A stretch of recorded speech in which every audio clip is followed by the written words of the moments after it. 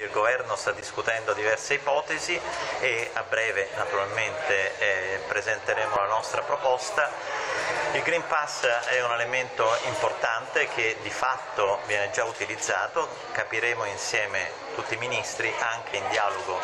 con le regioni eh, come utilizzarlo per far sì che la pandemia venga tenuta sotto controllo perché la sicurezza di tutti è l'elemento cruciale anche per confermare la ripartenza delle attività non solo scolastiche ma le attività economiche dopo la pausa estiva.